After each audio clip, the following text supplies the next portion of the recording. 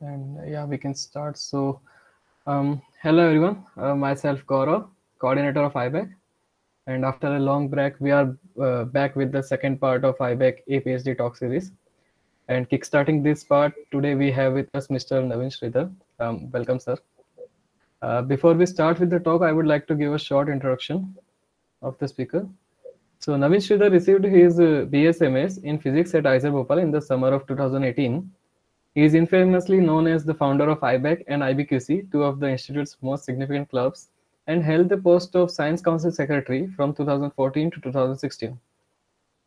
He was um, he was selected for uh, several research fellowships during his term as an undergraduate, such as SURF, Mitacs Globalink Research Internship, VSP at IIA, VSRP at TIFR, and IAS Summer Research uh, Fellowship at ISRO. He received the Dean's Fellowship for Graduate Study at Columbia University and hence proceeded to receive his Master's in Astronomy at Columbia University, New York in October 2020. At Columbia, he was endowed with uh, the Yeh Family Endowment Fellowship and is currently a part of a CCA Plasma uh, Astrophysics program under Simons Foundation. He is currently pursuing his PhD in astronomy at Columbia University and has continued his quest to mold developing young minds by volunteering at several talks and conferences. And today he will be giving a talk titled What Powers the High Energy X-rays Emitted from Black Holes. And we will be having Q&A session at the end of the talk. You can keep posting your questions in the chat box. Also, if you have any clarification in between the talk, you can straight away uh, raise your hand and ask the question or clarification. And yeah, we will take note of all the questions. And now I welcome Sir to take over from here. Um, thank you, Gaurav. And uh, as I've always said, it's a, it's a, it's a pleasure to be back at IBAC um, to discuss uh, my experiences or to discuss the science that I've been doing. And um, I'm happily sporting my uh, IISER Bhopal uh, jacket now uh, for this meeting. Um, all right, let's get into the science part now. And yeah, please feel free to jump in if you have any clarification related questions because, uh, and then we can have detailed discussions at the end of the talk. So um, yeah, what powers the high energy non-thermal X-rays from X-ray binaries is uh, is what uh, I'm trying to address in this uh, talk. I've taken the privilege of being a little more technical in this because uh, I guess I'm uh, I guess the audience is um, physics and astronomy inclined students, and some of you are even majors. So uh, if some of the technical aspects are not clear, please stop me whenever it is not clear. So even taking a step back, uh, what is a black hole corona and uh, what powers the corona and how a corona is formed are certain of certain questions that uh, we'll be addressing in this question and what are some observed signatures from a black hole corona. So this is an artistic depiction of a black hole X-ray binary. So typically black holes live with a companion, okay? So they come in pairs. Uh, you have a black hole and then you have a companion star and uh, the black hole accretes or sucks matter from a companion star. So here, this is the companion star. It's sucking, uh, the black hole is sucking matter from it. It forms a disk-like structure called the accretion disk through which the matter falls into the black hole. And during this process, uh, many exciting uh, observational signatures are emitted from the source. For example, highly relativistic uh, jets are seen. These jets can be uh, uh, they, they, they can span several orders of they can span uh, in size several orders of magnitude larger than this uh, black hole system itself, and they can emit they can emit in radio, gamma rays, and so on and so forth. So during this phase, during this accretion phase, black holes go through something called outbursts. So these are the phases where the luminosity of the black hole system increases by several orders of magnitude. And then uh, this outburst lasts for a few uh, months to sometimes even years, and then they fade back to quiescence. So during this outburst, the black hole is predominantly seen in X-rays. They are very bright in X-rays because uh, because of thermal black body radiation. So you just take some object, you heat it up to a million Kelvin, it will start emitting in uh, X-ray X-ray band. That's what you see here. So that's the accretion disk when, when it's heated due to various viscous and other uh, effects, it starts emitting in X-ray band. That's what you see here. So this is a this is how a typical light curve of a black hole X-ray binary looks like during an outburst. Uh, on the y-axis, you see the luminosity, and in the x-axis, I've shown something called spectral slope or hardness. So X-ray hardness is a measure of how how energetic the X-rays are coming from this black hole. So during the onset of a black hole, onset of an outburst, which starts somewhere over here, the X-rays are typically very energetic. And uh, as the as the outburst proceeds, the let me okay, yeah, let me show you. Okay, and as the okay, so during here when the at, at low luminosities, when an outburst starts, the X-ray that we receive are typically very high energy, high and highly energetic, and during the peak of an outburst, somewhere over here, the energy, the energy of uh, an average photon, X-ray photon is very less. Note that the energy is less, but the luminosity is more. That, that's the takeaway point from here. And the top two panels here, uh, they show what an energy spectrum looks like. The x-axis here is energy, I've cut it out, and the y-axis is the flux. And as you can see, at, at higher energies, the flux is large, but in soft states, at higher energy, the flux is lower. That, that, so these are two, two, uh, two states during an outburst. uh, so I'll dissect more into the spectrum to, to show what constitutes the X-ray spectrum from black holes. Um, we have this accretion disk, which is heated up, like, like I said before, and they emit thermal black body emission, which typically peaks in X-ray band because of uh, uh, their millions of Kelvin temperature, and they constitute the black body component. The, the black solid line that you see here is the overall spectrum, and the dashed lines are the different components that make up this black colored uh, overall spectrum. And the dotted lines here are the observational um, data points, okay? So the purple line that you see here is, is that is giving rise to this uh, bump. It is coming from the accretion disk itself, uh, black body, black body uh, radiation. And then what we think happens is that these uh, soft X-ray photons, I'm going to call the disk photons as soft X-ray photons because they are low in energy. You see here, they are they constitute the low energy um, part of the spectrum. These photons, we think that they get Compton upscattered by hot electrons in what what's what we what's called a corona. Uh, you may have heard that the sun also has a corona which has uh, a very high temperature. Similarly, there is also a corona uh, in black hole accretion disks, and we think that these soft X-ray photons are Compton upscattered to higher energies by this corona. And these high energy photons constitute the high energy tail observed in the spectrum. That's what we think. So since the hot electrons here are uh, giving off their energy due to Compton scattering to these soft low energy photons, these hot electrons should cool down. Uh, but what keeps the corona or what keeps the electron positron plasma in the corona continually energized despite this inverse Compton or IC scattering uh, is a big question that uh, we don't have an answer for. It's, it's still been a mystery. So one possibility could be uh, that the underlying engine could be bulk motions due to relativistic magnetic reconnection. So this is a lot to process now. Uh, let me break it down. So the, what is the question here? The question is, okay, you have hot electrons, they are energizing the low energy photons, and then uh, as a result of which you receive, you receive uh, high energy non-thermal photons that's from here. What keeps the electrons continually energized is the question. So one possibility could be magnetic reconnection. So what is magnetic reconnection?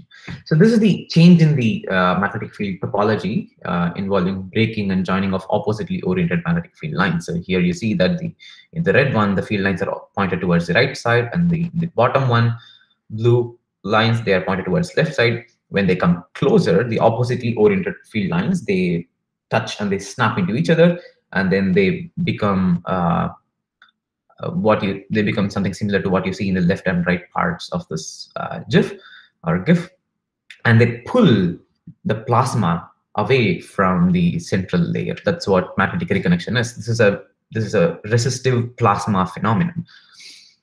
Uh, so as a result of magnetic reconnection, it uh, uh, the plasma which undergoes magnetic reconnection gets energized because the magnetic the energy in the magnetic field lines is now transferred to the plasma. And the energy can be can can take the form of internal energy of the particles uh, or temperature uh, or it can take the form of bulk motions of the particle particles.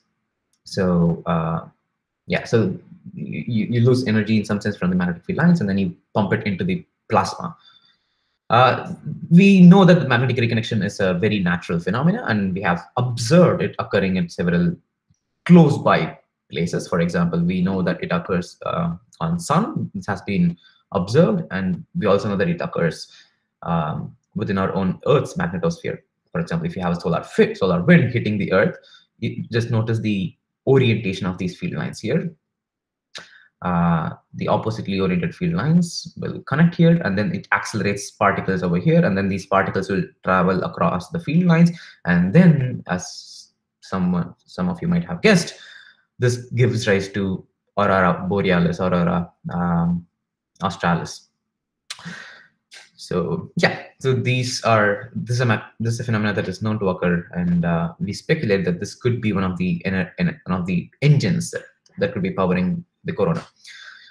So uh, I'm, I'm showing here a simulation of force general relativistic force-free simulation. Uh, what I mean by that is the equatorial plane that you see here is the accretion disk that I showed you earlier. And these curves are the magnetic field lines and the different colors and the different uh, shades of line denote whether they these are poloidally oriented or toroidally oriented field lines. And uh, what happens is when matter is getting accreted uh, into the black hole, the field lines that are anchored onto the accretion disk, they get sheared. They, they, they move because some regions of the accretion disk uh, that are closer to the black hole move at different speeds than the regions that are far away from the black hole. So when uh, field lines are anchored at different radius, radii, so they get sheared, and this shearing motion can uh, can uh, can bring two oppositely oriented field lines closer together, and that can lead to reconnection, magnetic reconnection. And that and that's what is seen in this uh, global simulation. What I mean by force-free simulation is that uh, here the effects of uh, uh the the thermal motion of the plasma, for example, are ignored, and it's, it's only considered that the plasma is dominated by the fields, the, by the energy in the fields, and not by the energy in the uh, thermal or the other plasma inertia itself. So what you see here is that these oppositely oriented field lines reconnect at uh, various instances, for example, over here, and they give rise to these islands, these islands of coherent magnetic structures. So you, see, you see here? Uh, these islands are, are called plasmoids, and uh, these are natural consequences of several plasma instabilities that happen when, a, when magnetic reconnection occurs. And these plasmoids traverse at, uh, at transrelativistic speeds for a, for, a, for a good enough magnetization, which, which, which I will come to very soon. And uh, they constitute the bulk motion. By bulk motion, I mean um, uh, a fluid kind of motion. So uh, many particles together as a coherent structure, they travel. That's what I mean by bulk motion here they constitute or uh, yeah they, they constitute the bulk motion as a result of magnetic reconnection and also the particles are energized so magnetic reconnection is expected to occur from these uh, first principle uh, force free or G and GRMHD simulations GRMHD means general relativistic magnetohydrodynamic simulations so uh, so those simulations have shown that magnetic reconnection can indeed occur uh, around black hole extreme black, black hole accretion disks and black holes. but that still does not do the job. We still haven't answered the question of whether how the particles are energized in the corona. Uh, in order to do that, we need to do we need to do something called particle in cell simulations of the plasma. Uh, so these are fundamental or first principle kinetic simulations uh, that that follows the trajectories of charged particles in self-consistent electromagnetic fields, and these are computed on a fixed mesh. Uh, basically, what we do is it's, it's a system to it's a method to solve the coupled Maxwell-Boltzmann equations for a relativistic collisionless plasma. That's what uh, particle in cell simulations are. Um, so before going on to this, uh, does anyone have any question?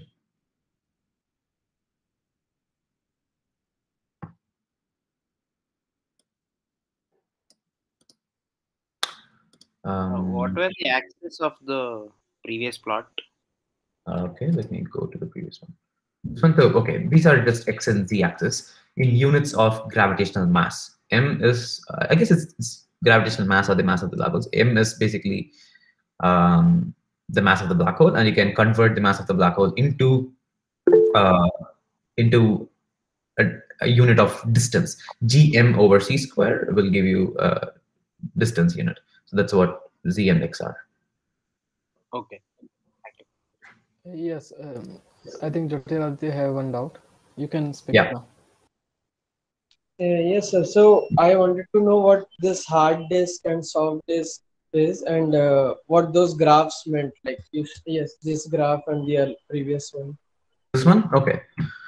Um, so um, hard states and soft states are, so I just want you to imagine um, an outburst. So outburst is something where the uh, luminosity increases and then decreases over some periods of time.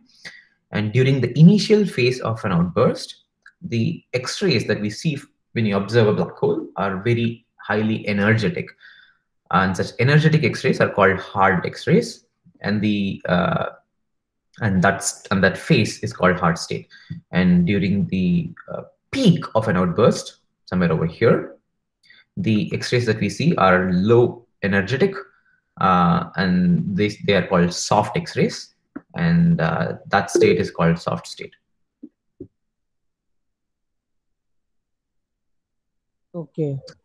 And and this graph is for like, uh, what does it say? Ki they have more energy, hard state, and Yeah, yeah. So what this says is uh, during the onset of an outburst, the luminosity or the brightness is less.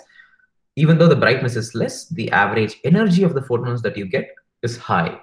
On the other hand, during the peak on of peak of an outburst, somewhere over here, the brightness is very very high, but the average energy of a photon is low. That's what this says. okay, okay. And that brightness is high because there are a lot of photons. Correct. Not the energy is there. Okay. Energy Correct. is not high, but Correct. Correct.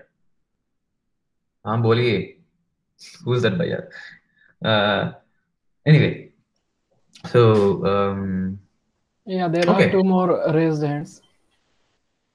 um, Um, yeah, sure. Tanavia, you can go on. Um, hi, Priya. Right. Uh, so you said that the black hole emissions carry a thermal spectrum. correct Uh, so I can understand that the accreting matter has some temperature and uh, emits thermally, but does the black hole itself uh, carry a thermal temperature? um, so let's not get into uh, the Hawking radiation aspects of it but no the black hole itself does not uh, uh, emit a thermal radiation that is perceivable by um, existing observing facilities no it does not Uh, so what we observe is uh, the spectrum of the matter around the black hole. Correct, correct. Uh, the spectrum of the matter accreting, uh, not, not the spectrum of the matter around the black hole, the spectrum of the X-rays emitted by the matter around the black hole, uh, and the corona, which is which we think is formed uh, due to the matter accreting around the black hole. Yeah, I see. Okay, thank you so much. yeah, no worries. And there is one more from Ranjan. Ranjan, you can go. Yeah, hello, sir. Uh, I wanted to ask how does the uh, like shearing of inner and outer uh, parts of the disk contribute to the magnetic islands that you spoke of? I did not get that part completely. Okay, okay. So uh, I get what you- what you're asking. So imagine, um, imagine that the matter is some, some matter is falling as a disk into the black hole. Okay, they are spiraling, and the magnetic field lines are connected to the accretion disk. Some part, some some part of the field line. So imagine a loop of magnetic field line. Okay, and one leg of the field line is connected to a part of the disk that is closer to the black hole, and another leg is connected connected to the uh, part of the disk that is away from a black hole. Okay, so the region that is closer to the black hole will have uh, will have a, uh, uh, a larger velocity, for example, and then the region away will have a smaller velocity. So they will shear. There, there's going to be a shearing motion. So there's going to be a lot of such loops which are undergoing a shearing motion. And during due to this shearing motion, oppositely oriented field lines can come closer to each other.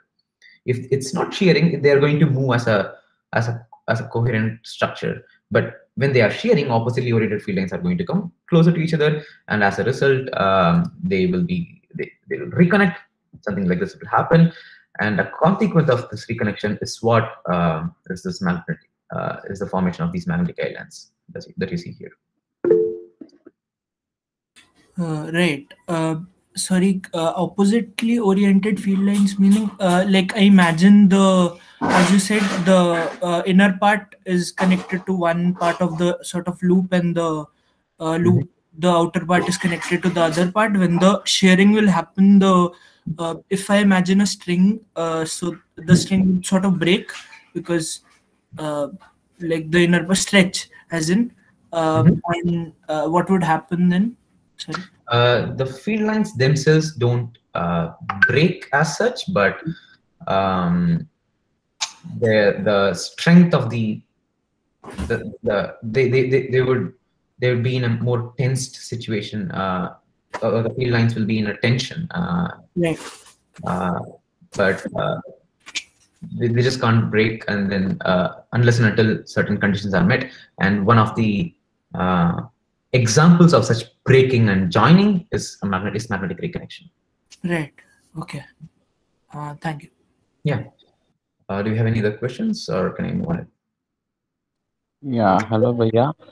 Yeah. Actually, I just wanted to add on to that Anjan's question. Like, where does this reconnection actually occur? Like, where does why this or where I mean, uh, while considering the uh, black hole as a, s- as, as a point or something, can we connect this? Like, where do this happen? where okay okay so yeah uh,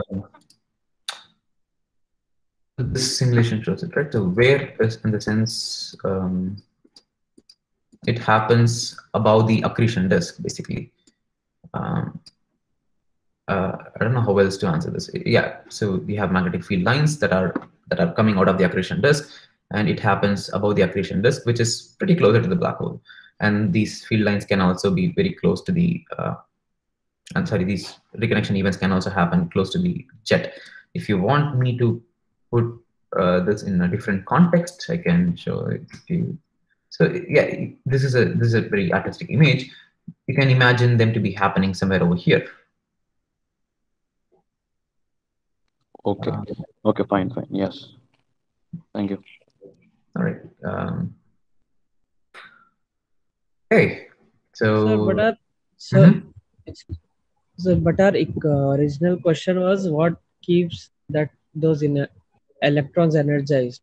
So how does this help? Like, how does this keep it energized? yeah, yeah. I'll, I'll come to that.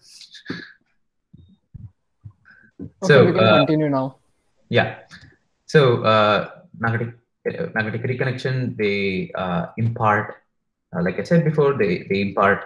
Um, magnetic connection converts the magnetic energy into kinetic energy, thermal energy, and the particle acceleration, uh, and also the bulk motions. So we need particle simulations of the plasma to actually understand how this energy particle energy energization happens. So in order to do that, there's uh, in order to do that sincerely, there's only one way to go about it, which is through particle in cell simulations, where we saw do this. Uh, there are multiple steps to it, which I'll quickly run through it. Um, this deserves an entire uh, course, three-month course, but I'm just going to quickly skim through it. So we initialize particles and fields in a computational mesh in a grid. So EY, BZ, particles, and so on and so forth. And then the next thing that we do is we advance the magnetic field line by half step forward according to Faraday's law. And then we solve Faraday's law. And then we push particles basically. So we have particles that are uh, that are experiencing Lorentz forces, and these Lorentz forces are going to move the particles. So we push particles in the computational field. Uh, and then we advance the magnetic field uh, for the remaining half step, and then uh, and then advance the electric field according to Ampere's law. And these are the equations that we solve. So some of you may have, some of you may, may know what leapfrog integration is, right? So you, you, there's this numerical um, numerical methods course that's offered in our physics department. So please do take it. It can be uh, very helpful. So it's a it's a way to integrate systems. Um, and then we compute the currents that are produced due to these moving uh, charges. And these currents are then deposited in the grids. So J is the current density. These currents are then uh, deposited in the grids. And then uh, we add these current terms to the Ampere's law. And then uh, we repeat it again. So that's an entire loop, basically. So it's summarized over here. You have the particles, uh, the uh, position and momentum are updated. Uh, Lorentz force due to, due to the changes given by Lorentz force, and then the charges and currents are deposited in a grid, and then the fields are solved, and then we gather the fields, and then push the particle again. So that's that's the loop. So we are self-consistently solving how particles interact with the field and how the particles uh, and how the field interacts due to, how the field changes due to the particles. And um, this is very important to, uh, to you know, important to uh, understand how particles are energized due to such explosive changes in the magnetic field given uh, given by reconnection. And uh, in order to solve this we cannot just do it with our pen and paper. We cannot do it with our uh, personal computers. We need uh, big computers, uh, and uh, these can these, these can be very expensive simulations, and they can computationally expensive simulations, which can which can consume several millions of CPU hours. So we solve it in NASA's Pleiades, uh, Department of Energy's CORI, and uh, Columbia has three excellent um, supercomputers that we also put into use for these uh, calculations. Um, Okay, so we need such fundamental simulations of the plasma in order to understand particle energization. Now, what we do is we take a pair plasma, electron-positron pair plasma, and we also take electron ion or electron proton uh, pair, pair, plasma. So we consider these two to be the uh, constituents of corona. And what we do is we vary magnetizations. Magnetization is uh, defined as the ratio of the energy contained in the magnetic field to the energy contained in the plasma, in the rest or the rest mass energy of the particles themselves. It's just a ratio of how much energy is in the field versus the energy in the particles. So we vary magnetization and we vary the intensity of the soft photon field because uh, if a lot of low energy soft photons impinge the corona, then the corona will be cooled down very fast. Uh, so we changed uh, this, the intensity of these uh, soft photons that will get Compton upscattered in order to see how the corona cools. Um, and yeah, this is how uh, the result of, of particle in cell simulation looks. So this is a reconnection event happening. Uh, I, I, hope you can uh, see these plasmoids and you can uh, and you you remember I'm sure you remember it from the previous slides. Um, so the reconnection is happening and these plasmoids are pushed away from uh, the center. The, the, first panel shows the number density. The second panel here is the magnetic energy density. And uh, third panel shows the inverse Compton power carried by the plasma. And the fourth panel shows the what what what is the contribution of the bulk motions to the inverse Compton power. And the fifth panel shows what's the contribution of the temperature or what's the con contribution of the uh, internal energy to the total inverse Compton power. Uh, I, will give you a better way to visualize this. Uh, so, so the magnetic reconnection is triggered at the center of the simulation domain or the, or the box here, over here. Once magnetic reconnection is triggered, so yeah, these are the oppositely oriented field lines. They are first parallel. Uh, they come closer. They snap into each other, and the reconnection happens. So I'll just play it here. you see that the plasmoids are being evacuated outside. And then plasma and, and, and then uh, plasma flows into the layer because there's a vacuum here.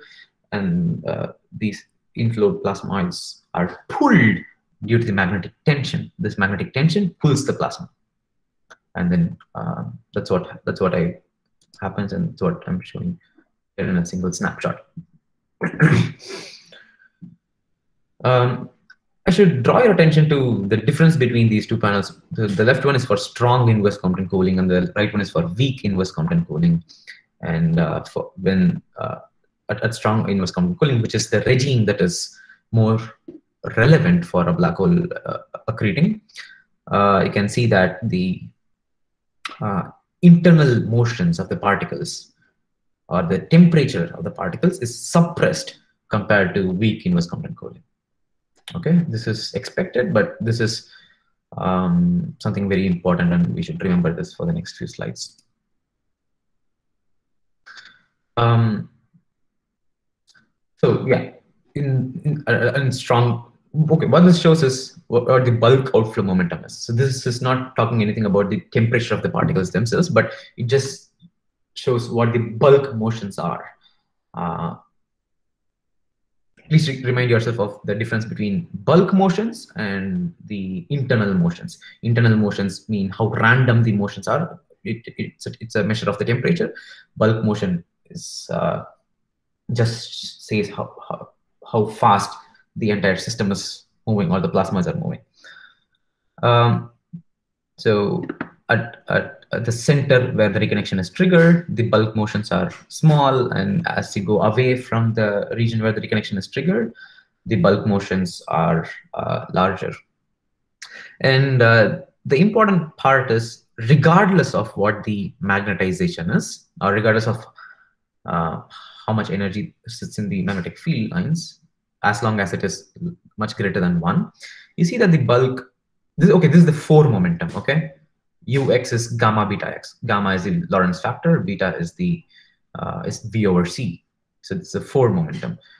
Uh, the bulk motions, the bulk momentum uh, is constant for for a wide range of uh, inverse Compton cooling strengths, uh, which is very interesting. Uh, similar bulk outflow speed regardless of magnetization and inverse Compton cooling strength. However, if you look at the internal motions, which is which I show by the blue lines, the internal energies are reduced to non-relativistic temperatures. So this is in units of MEC square. MEC square is uh, 511 keV. Uh, that's the rest mass energy of electrons. Okay, that's that's the unit that I'll be using to measure temperature now.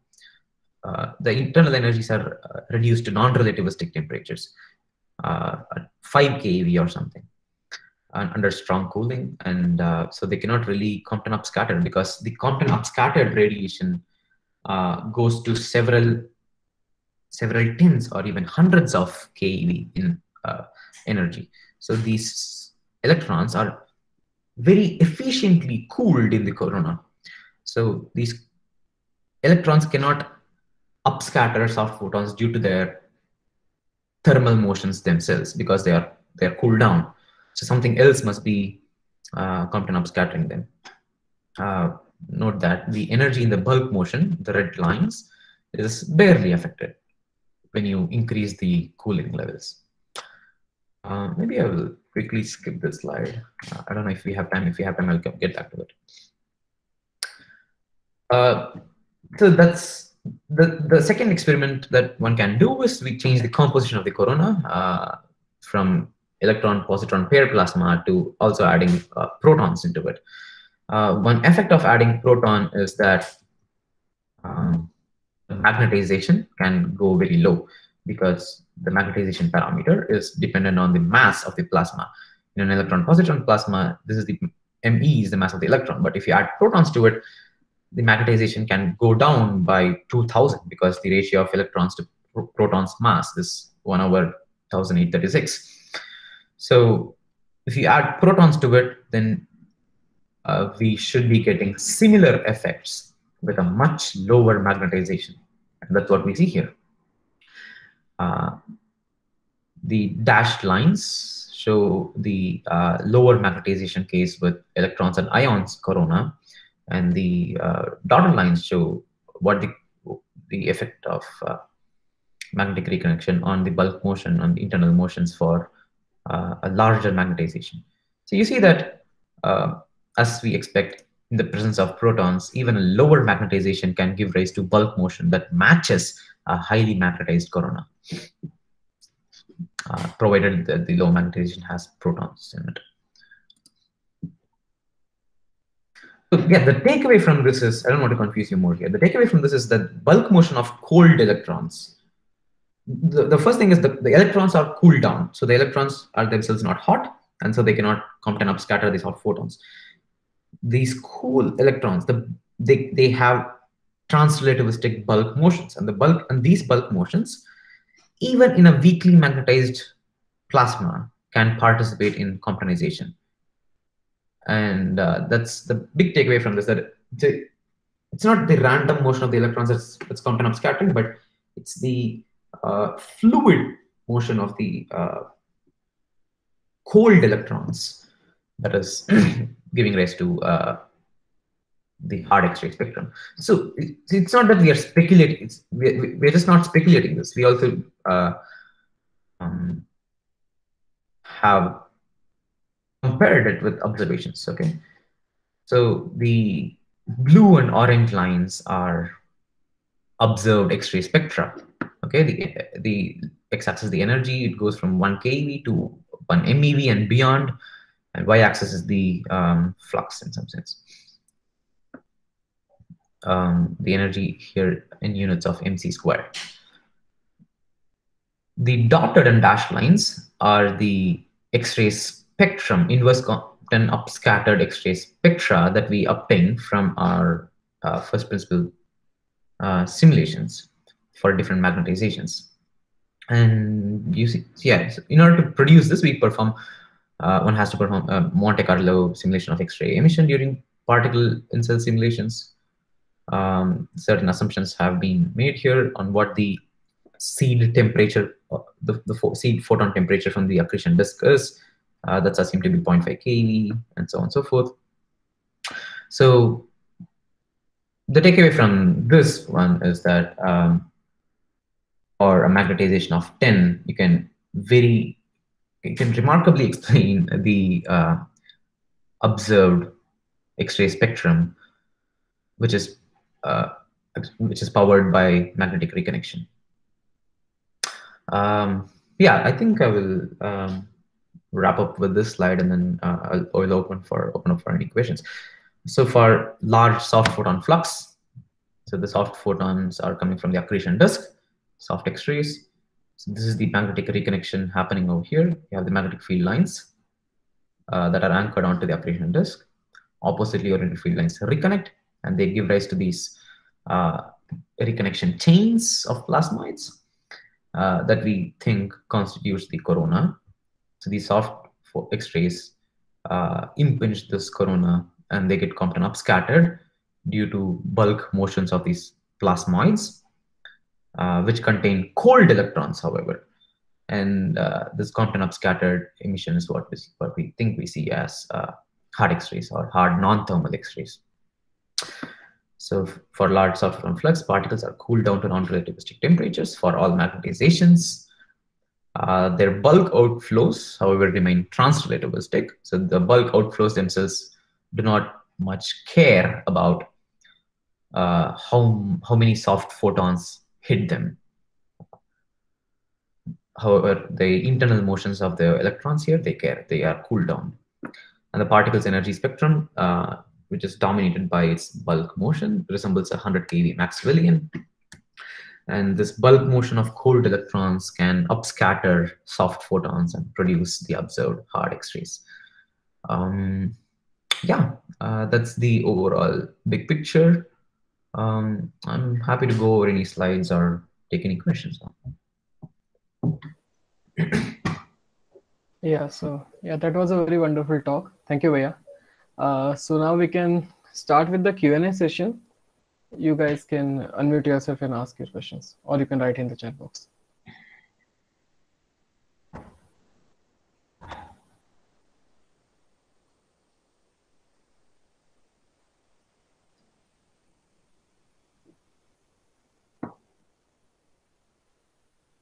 I guess there are many questions in the chat box that I haven't addressed. Uh, maybe Gaurav, can you?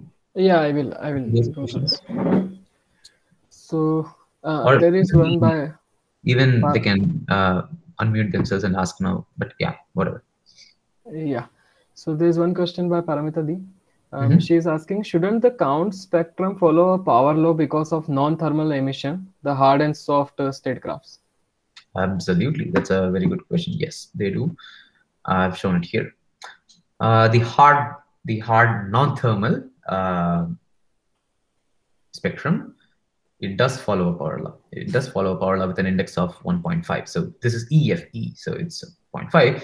But if you just look at uh, what the number of photons are for at, given energy, it goes as uh, n of e, goes as e to the gamma, and this gamma power law index is usually minus 1.5. Yes.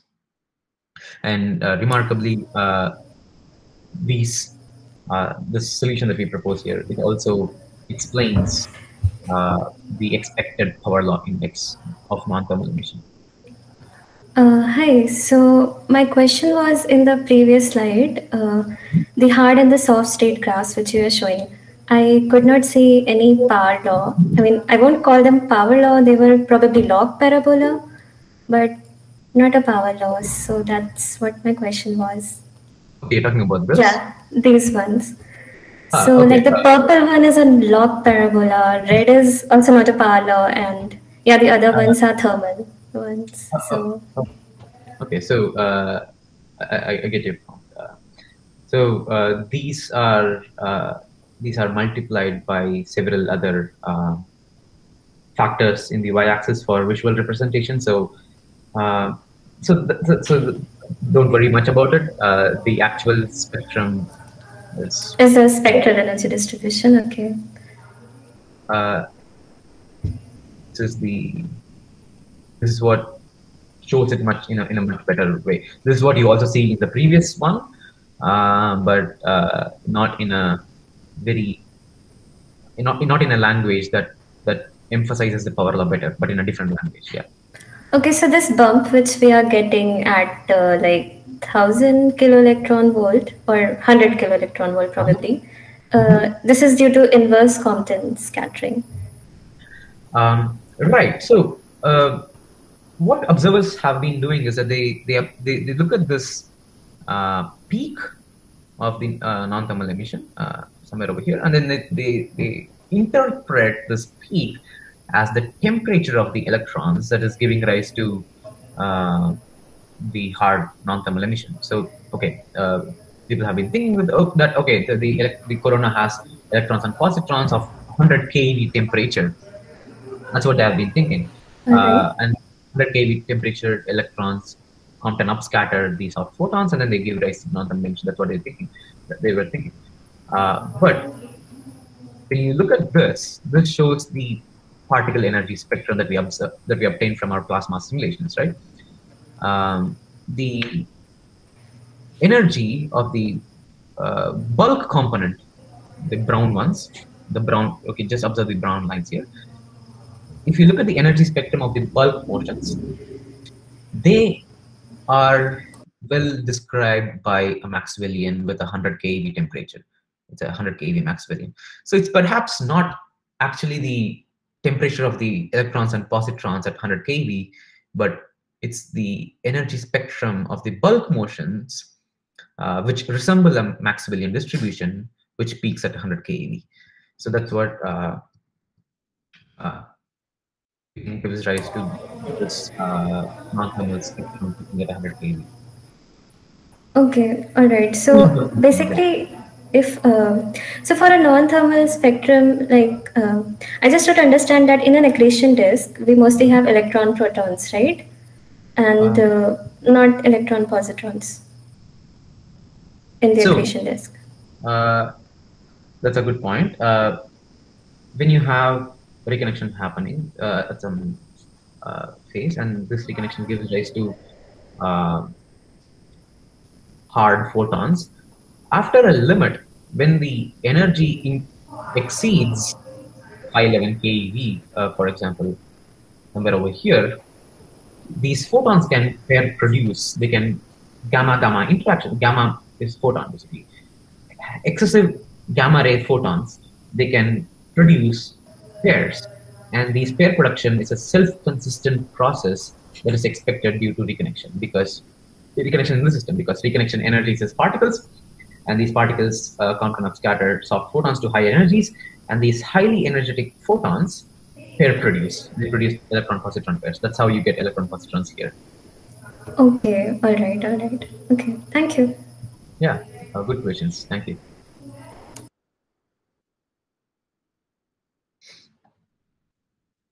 Um, there is one in the chat box uh, by Jyotiraditya. So he's saying, so this outburst happens over the disk rather than above the black hole, and we observe this outburst as hard disk uh, outburst. Mm. Uh, can you repeat the question? So maybe I. Uh, so, so this outburst outburst happens over the disk rather than above the black hole, and we observe this outburst as a black uh, hard disk outburst. Hard disk outburst. Um, J- Jyotiraditya, if you can unmute and ask, that would be better. So yeah, this picture in this picture, no, uh, uh, next next slide. No, the yes. So we were looking for that uh, the stream. We are finding what uh, why, the e- energy in, of the electrons is Mhm. energized in that stream, but. Uh, what uh, you said that uh, this uh, magnetic field lines they reconnect and then due to inverse compton effect uh, it re uh, it outbursts. So it's not happening outside the black hole no? It's like surrounded within the disk. How is this picture relevant to what's actually happening? Mm. This is a cartoon, uh, so this is not um a real image of a black hole extreme. First, I should clarify that. so um, I'm just using this cartoon to uh, sh- show two main components of a black hole accretion disk system. So the black hole accretion disk system contains a few few major regions. One is the accretion disk that is accreting matter. Uh, and, and th- this accretion disk gives, gives rise to the black body X-rays. And the second region is uh, corona above the accretion disk or above the black hole, or uh, it it it uh, sandwiches the accretion disk and black hole. We don't really exactly know the geometry of the corona. That's that's still a big problem. So I'm, uh, so I've just denoted some region uh, that is not the accretion disk that is above the accretion disk as the corona and there are I, I, I guess the outbursts and this uh, regions they are definitely related. Uh, when outburst happens there are some instabilities that occur uh, in the accretion disk and plasma instabilities and viscous instabilities for example. And these instabilities uh, give rise to uh, large luminosities.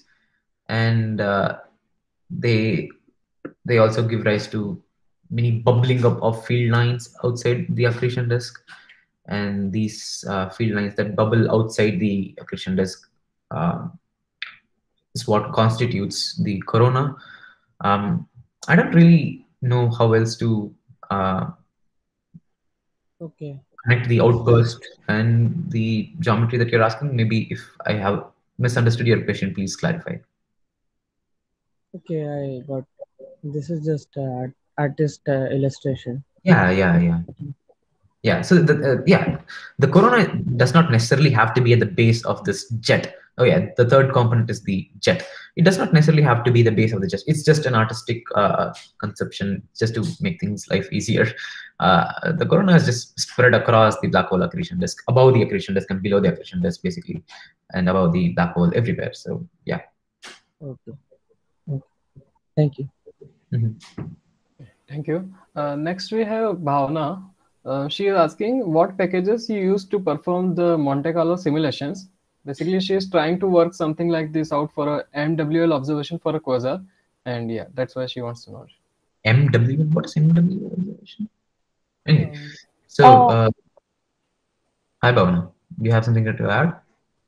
Yeah, hi. Uh, multi-wavelength observation, basically. So I am Ah. trying to uh, basically get the spectral fit across all wavelengths. So I'm basically I'm working on X-ray and gamma, gamma ray flux points. So I was wanting to ask if, I mean, um, what package did you use? Did you use Py I mean, a package in Python or any other um, coding language to um, plot your plot the SED using since you mentioned that that you have used Monte Carlo sim- simulations. So, like, did you code Okay. it up or are you following any code? Anything? Yeah, sure. Uh, so there are three different tools uh, that are used in producing this. Okay. Uh, the first thing Mhm. is our particle in cell simulations itself. They are uh, written. I, I- I use a code called Tristan MP. Uh, it's written in Fortran, um, and that's what we use for performing these first principle particle in cell plasma simulations. These simulations they tell you uh, the momentum of the particles, right? So you, you, you get the energy of the particles. The next thing that we do is we uh, use a Monte Carlo simulation. That's also a, a locally written code. Uh, it's not a package that I use, so it's, it's a locally written code.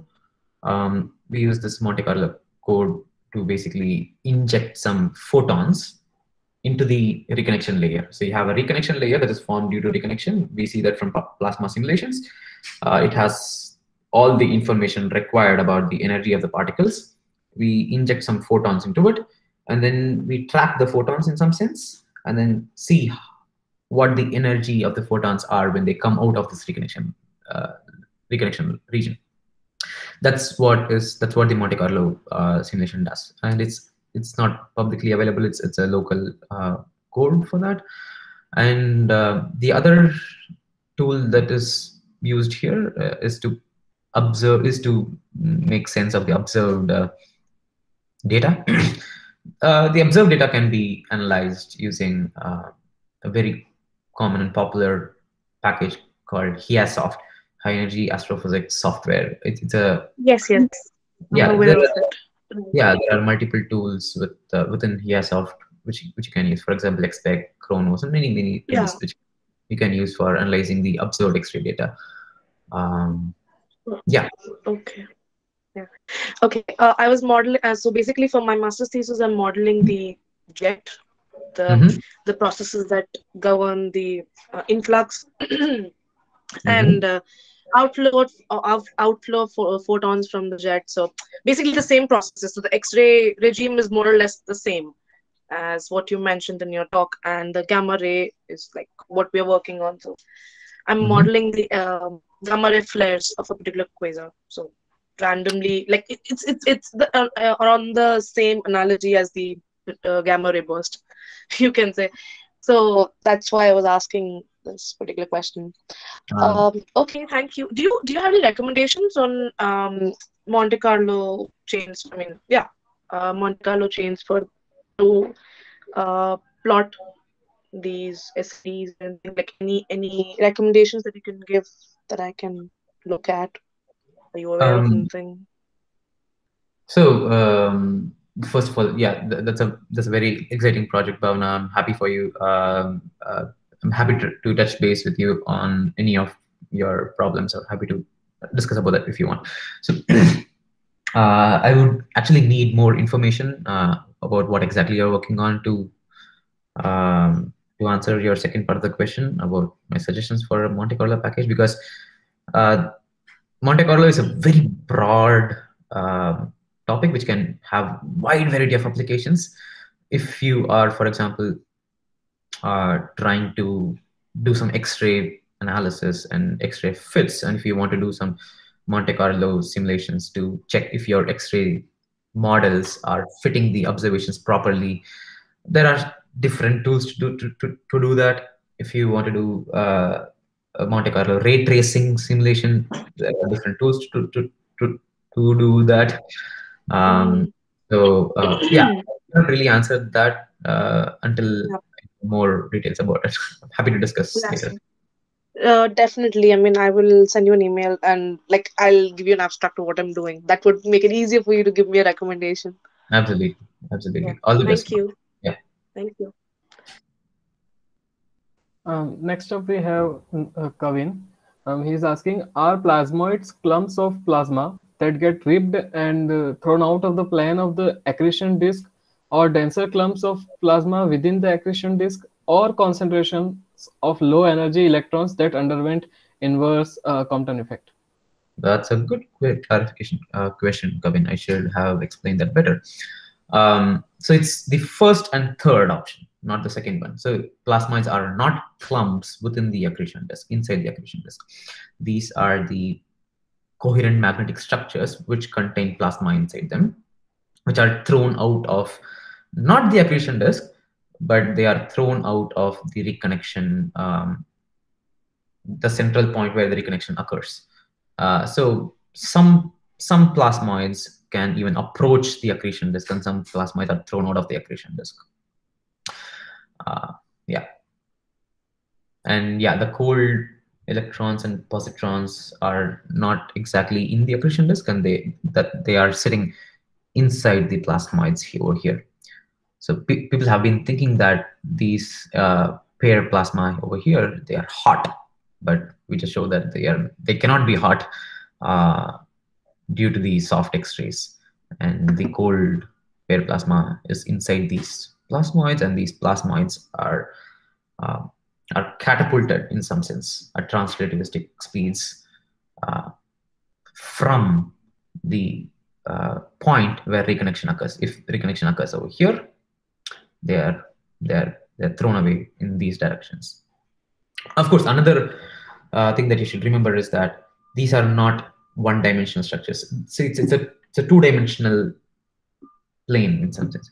Uh, so it's not a spherical thing that that I call as plasmoid over here, but rather it's a tube. It's a tube of plasma. But, but yeah. Kevin, uh, is, is it clear? Uh, have any clar- Do you need any other clarifications? Yeah, yeah, got it. Thank you.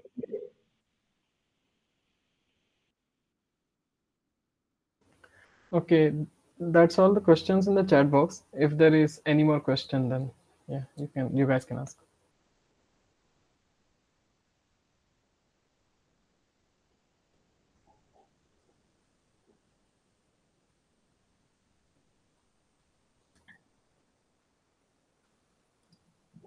Yeah, so Navin Bhaiya, we are uh, like you guys uh, ran the Monte Carlo simulations on the observations uh, till now, like what observations we have till now. Like uh, we can also simulate data, no, through Monte Carlo and check whether uh, our proposition works better or not. Like Uh, yeah, that is exactly what we do. Uh, yes, that's exactly what we do. These uh, Monte Carlo simulations of X-ray uh, emission, they so we, run Monte Carlo simulations on the other simulations that we have run. So uh, that's exactly what we do. We here we are not um, running Monte Carlo simulations on the observed X-ray photons. Uh, to Yeah, we basically make synthetic data Yeah. uh, on based on some parameters. Uh, correct. So we we we find we find the we find how the particles are energized from our first principle plasma simulations and then and then on that simulation we run a Monte Carlo simulation to get the X-ray spectrum. Uh, and once we get the X-ray spectrum, the inverse Compton up scattered X-ray spectrum, we compare that simulated spectrum with observations. Yes. Okay. Thank you.